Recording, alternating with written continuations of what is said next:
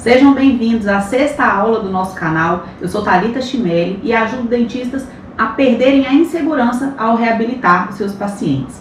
Essa é a nossa sexta aula e o tema é seleção de grampos. Como selecionar o grampo correto vai fazer você ter muito mais segurança para fazer um isolamento absoluto.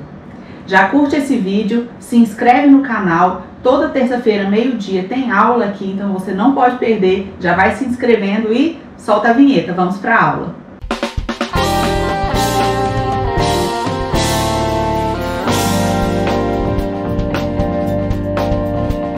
Bom, então vamos lá, vamos falar sobre isolamento absoluto. Primeira coisa, o conceito. Por que, que eu faço isolamento absoluto nos meus casos, nos meus pacientes? Porque eu quero ter uma visualização melhor, uma tranquilidade melhor para trabalhar e principalmente uma adesão livre de contaminação. Contaminação pelo que, professora? Por umidade, por saliva, por sangue, por fluido crevicular. Então, isolar significa conseguir restaurar, né, conseguir tratar um dente sem interferência dos outros contaminantes ali do meio bucal que são esses que eu acabei de falar para vocês. E o que, que a gente usa para a gente fazer esse isolamento? A gente usa o grampo, o arco, o arco de Young, né, que é aquele arco que fica aqui na nossa, no nosso paciente, o perfurador do lençol de borracha, o porta-grampos, o próprio lençol, né, também o lençol de borracha, o porta-grampo, que é a pinça que leva o grampo no dente, e o fio dental, no mínimo, né, que a gente precisa para passar o lençol ali entre os dentes. Aí tem outras coisas que a gente usa, às vezes um pedacinho do lençol, um pedacinho da luva e tudo, mas não é o objetivo da aula de hoje, porque a aula de hoje eu quero falar sobre a escolha do grampo, que é 70% do sucesso do seu isolamento. Então, se você é, eu tenho muita dificuldade com isolamento, nossa senhora, eu não dou conta de isolar de jeito nenhum. Então pode ter certeza que você, onde é que você, você emperra o seu processo? No grampo, na escolha do grampo. Você não está sabendo escolher o grampo. Porque depois que a gente escolhe um grampo bom, o resto pode ser trabalhoso, mas difícil não é. O que é mais difícil, o que depende mais do nosso raciocínio, é a escolha e correta adaptação do grampo, tá bom?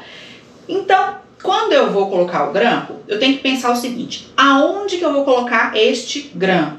Eu vou colocar no dente que eu vou restaurar, eu vou colocar a distância, vou restaurar um dente aqui, vou colocar outro grampo lá à distância. E outra coisa, eu vou colocar quantos grampos? Dá para colocar um só?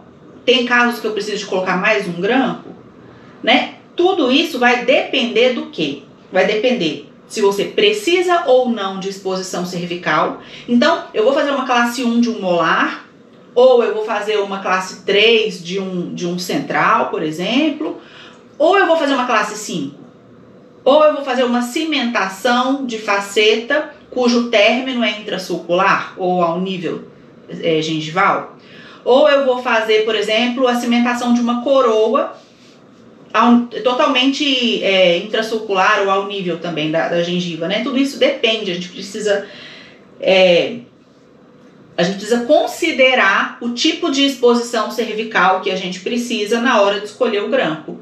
Se são, se vai ser um caso que eu vou precisar de um grampo que vai resolver esse problema para mim de expor cervical do dente, ou se é um caso que eu não preciso de expor cervical, porque eu vou trabalhar terço médio, oclusal, incisal do meu do meu dente, tá bom?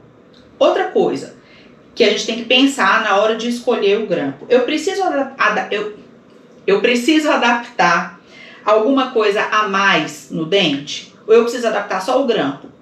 Como assim, professor? Uai, se você vai fazer uma restauração classe 1, você precisa adaptar o, o grampo, você coloca o grampo ali e você vai fazer classe 1, sem mais sem adaptar mais nada. Mas e se for uma classe 2?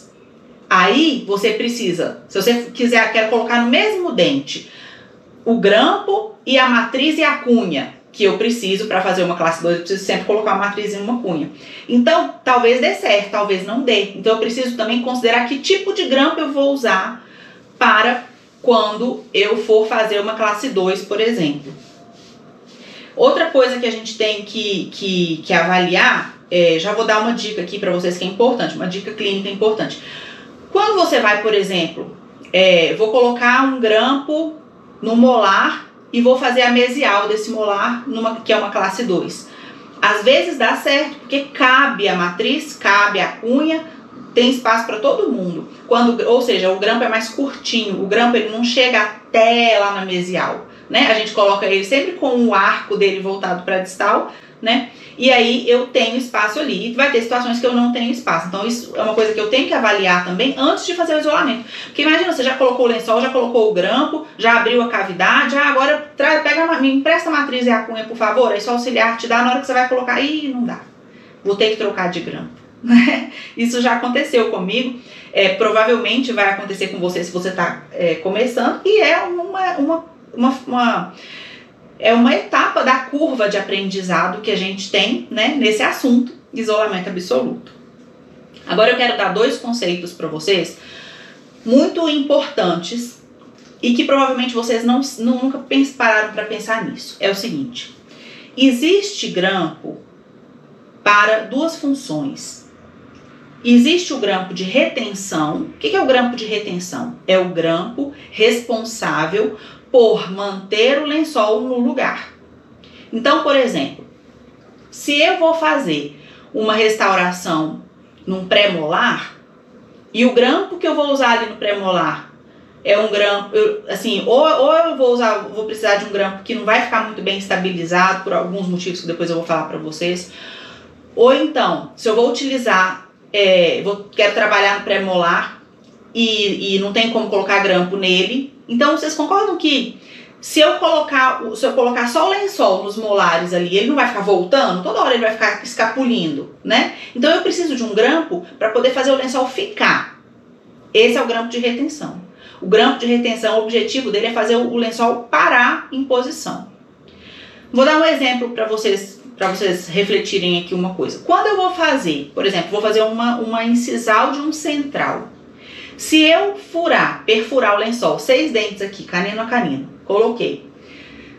Esse lençol fica voltando, fica, fica saindo? Não fica. Por quê? Porque aqui, nessa, na região anterior, a gente não tem uma força, a não ser que seja um paciente com uma musculatura muito hipertônica, mas a gente não tem uma força é, tão grande para poder fazer esse lençol ficar querendo sair. Agora vai lá no molar, no segundo molar. Segundo molar, o grampo tem que estar tá muito forte, porque se o grampo não estiver muito forte ali no dente, o lençol vai pular, né? Então vocês entenderam que em algumas situações eu preciso de um grampo de retenção, grampo de retenção principalmente quanto mais para posterior eu vou, mais eu preciso desse grampo, porque mais difícil é conseguir fazer o lençol ficar parado na posição de um molar, por exemplo, quando eu vou comparar com o central. No molar sempre vai ser mais difícil. E aí, além desse grampo de retenção, que tem essa função de reter o lençol ali, existem também os grampos de afastamento. O grampo de afastamento é aquele grampo que serve para afastar os tecidos cervicais daquele dente. E muitas vezes, no mesmo, no mesmo, no mesmo, mesmo caso, né, na mesma boca ali, eu vou usar dois grampos. Eu vou usar um de retenção lá no molar para poder ficar segurando o lençol. E aqui no meu pré-molar, onde eu estou fazendo uma classe 5, por exemplo, que eu preciso de afastamento da gengiva na vestibular para eu poder fazer minha classe 5, eu vou estar tá usando um grampo de afastamento. Professora, se você já está com um grampo de afastamento ali no seu pré-molar, por que, que, você não deixa só esse grampo? Por que, que tem que ter o grampo do molar lá atrás? Porque se esse grampo de afastamento é um grampo mais delicado, ele não consegue segurar, é, ele não consegue segurar a força do lençol querendo sair do dente. Vou falar assim para vocês entenderem e, vai, e aí fica mais fácil. Então, via de regra, a gente, quando vai fazer um isolamento e precisa de um afastamento cervical, a gente sempre vai precisar de um grampo de retenção lá, provavelmente mais posterior, e um grama de afastamento no dente que a gente está trabalhando, tá bom? Isso é uma regra, professora? Não. Tem uns, alguns grampos, por exemplo, o W8A é um grampo de retração. Então, ele e, e, ele também é um grampo de molar. Então, ele. Porque, por exemplo, se eu precisar fazer uma classe 5 em um molar, muitas vezes não vai ter jeito, eu vou ter que usar o mesmo, eu vou ter que conseguir com que o mesmo grampo de retenção seja o grampo de afastamento. Mas lembrem-se que eu posso colocar o meu grampo de retenção lá do outro lado, né, no, no arco, no, no M arco contralateral, por exemplo. eu estou trabalhando aqui no dente 47 e eu posso colocar o meu grampo de retenção, se eu quiser, aqui no meu, no meu 35, no meu 34. E, ah, professora, mas é, já vai ser suficiente para o lençol ficar ali? Não vai ser suficiente, mas vai ajudar. A força, a força contrária, né, para o grampo, para o lençol soltar, ela vai ser menor, porque tem um grampo ali do outro lado ajudando. Então, isso é uma dica importante também, tá bom? E aí, é, como que eu vou fazer para selecionar? Como que eu vou selecionar esses grampos? Bom, então, sempre em posteriores, eu vou precisar de usar um grampo de retenção, como eu já disse para vocês. Em anteriores, nem sempre, mas em posteriores, sempre. E aí, como que eu vou fazer para selecionar esse grampo de retenção? Qual é o melhor grampo de retenção? A minha preferência sempre é um grampo sem asa. O que é um grampo sem asa? É, o que, é aquele grampo que você consegue passar o lençol por cima dele. Então você coloca o grampo no dente, depois que o grampo já está no dente, você vai lá e passa o lençol por cima. Por que, que é bom isso? Porque na hora que você está é, colocando o grampo, você tem uma visão boa, você consegue enxergar direitinho onde que você está posicionando as garras do seu grampo, né? E aí depois você vem e passa o lençol por cima. Esse, isso se chama grampo sem asa. Para qual técnica? Para a técnica de posicionar primeiro o grampo e depois passar o lençol. E quais são os grampos que eu mais utilizo para fazer essa técnica de isolamento? São os grampos 26, W3 e W2. São três grampos. O 26 e o W3 são dois grampos para molares e são grampos sem asa. Então, eu consigo colocar lá no molar e depois eu passo o lençol por cima. O W2, ele é a mesma coisa, só que é para pré-molar. Então, às vezes eu quero, é, quero, eu não quero isolar, não preciso isolar os molares, quero isolar a partir de pré-molar e aí eu quero usar essa técnica de colocar o grampo primeiro, o lençol depois, então eu uso o W2. Agora, nem sempre é possível. Como eu disse para vocês, é sempre a minha preferência. Minha preferência sempre é colocar primeiro o lençol para de... primeiro, desculpa, primeiro o grampo para depois passar o lençol. Agora, algumas vezes não é possível. Quando que não é possível? Eu vou falar aqui para vocês. Na verdade, pode ser que você que todo, de todos os grampos que você tenha, você já testou todos os grampos que estão disponíveis ali para você usar naquele momento e nenhum deu certo. Mas nenhum, nenhum sem asa. Mas aí você pega um grampo com asa e fala, nossa, esse ficou perfeito. Então que bom, porque para a anatomia daquele dente, você tem um grampo que fica perfeito, só que ele é com asa. E o grampo com asa, ele não permite você passar o lençol depois por ele. Você já tem que levar o conjunto, você já tem que levar o lençol e o, e o, e o grampo no mesmo momento. E por isso que eu acho um pouco ruim, porque você não enxerga direito. Quando você está levando o conjunto, você a visualização fica muito atrapalhada, porque o lençol tá ali junto com o grampo te atrapalhando, né? E aí, é, uma das uma das, das, das necessidades, das vezes que a gente precisa de usar um grampo com asa é essa que eu falei para vocês, quando você não tem um grampo sem asa que teve uma boa adaptação no seu dente, né? Você provou, você testou o grampo ali, 100% das vezes a gente vai sempre testar o grampo antes de colocar o lençol, antes de, de qualquer coisa, a gente sempre, a primeira coisa que a gente faz no isolamento é testar, selecionar qual é o grampo que a gente vai usar. E também uma coisa muito comum é assim, Talvez você até tenha, você colocou o grampo 26 lá no molar, nossa, ficou perfeito no segundo molar. E, e aí você vai passar o lençol. Só que quando você vai passar o lençol, o lençol não passa. Por quê? Por causa do ramo ascendente da mandíbula aqui, ó. O osso do paciente não tem espaço para passar, né? Ah, professor, como é que eu vou saber disso? A gente só sabe quando tenta. Aí é quando a gente vai tentar ali, a gente vê que, que não tem jeito. Aí eu tenho que trocar de técnica, tem que mudar de técnica ali na hora. E por isso é bom saber as duas técnicas, né? Então, como que eu faço? Nesses casos aqui que não deu certo de usar um grampo sem asa, eu vou usar um grampo com asa. E quais são os principais grampos com asa que a gente usa, que eu uso, né, que eu gosto? Para molares, para molares. O grampo 200, o grampo 13A, o grampo 12A, que são grampos que têm asa e são para molares. O 13 e o 12, eles são serrilhadinhos, então eles são muito bons, eles têm uma retenção muito boa. O 200, 201, 202, 205, são todos é, grampos para molares também, tá bom? Quando eu falo 200, são os da família do 200. Menos o, por exemplo, 209 é para pré-molar, né? Mas pelo tamanhozinho ali do grampo você vai ver. E para pré-molar, com asa, os grampos com asa que eu uso para pré-molar, são sempre o 0 e o 00. Eu gosto muito deles, tem uma, uma retenção muito boa. E aí, gente, em qualquer situação, se você não quer passar por uma situação que talvez você já tenha passado, que é você testou o grampo, ficou bom. Aí quando você vai com o lençol, o grampo, o grampo pula, o grampo não fica. Ou testou o grampo, ficou bom, deixou o grampo lá. Na hora que eu peguei o lençol e eu fui passar pelo grampo, o grampo voou lá no teto, né? Isso tem como a gente evitar isso? A gente não precisa passar por isso. Como é que a gente faz para evitar? Quando a gente for testar o grampo, não é só testar, tirar o porta-grampo e ver, ó, ficou, tá ali. Não, eu preciso ver se ele vai ficar também quando tiver o lençol empurrando. Então, quando eu coloco o grampo ali no dente, e aí depois eu vou vir com meus dois dedos aqui, ó, puxando o grampo ao contrário, como se fosse o lençol empurrando. E às vezes, na hora que eu faço isso com uma, uma, uma fraca pressão, sem fazer muita pressão, o grampo já solta. Eu já falo, nem adianta tentar o lençol aqui. Aí eu vou tentar um outro grampo que fique mais firme, né? Para eu poder é, conseguir fazer meu isolamento.